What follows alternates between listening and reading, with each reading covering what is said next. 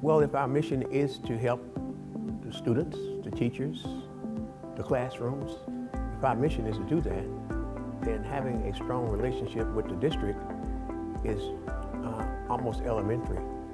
Uh, it's almost important that you have a, a, good relationship with the district to make sure that uh, they understand who we are and we understand what they're trying to accomplish. And I think we proved, we proved to be a viable partner uh, through both scenarios. We proved that. And we have proven that through the many initiatives that we've been involved with uh, over the past 10 years.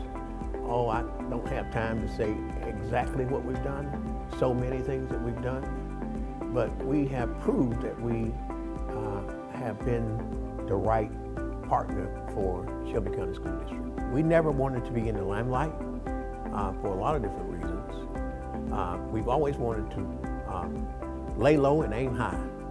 I think we've accomplished that.